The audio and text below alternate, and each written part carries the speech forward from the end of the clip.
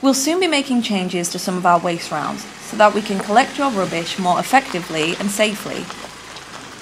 If we plan any changes to your collection, we'll send you a letter and you'll get a chance to discuss the options in full.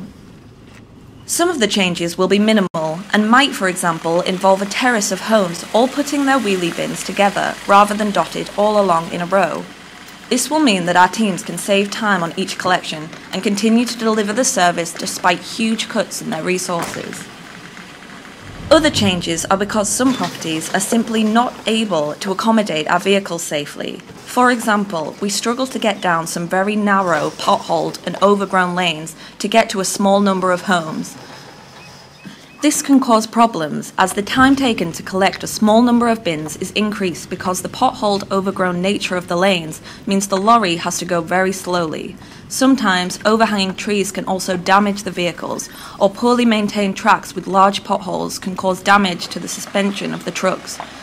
Thousands of pounds worth of damage was caused last year alone. And also, sometimes there is not enough room for the lorry to safely turn round, and it must reverse slowly up the lane again. Most of these problems can be overcome with solutions such as using a communal bin or collection point at the end of their lane, we will be looking into these solutions and getting in touch with the relevant properties soon.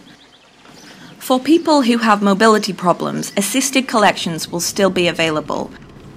If you receive a letter and would like to discuss it with us, please call the office on 0845 054 8600.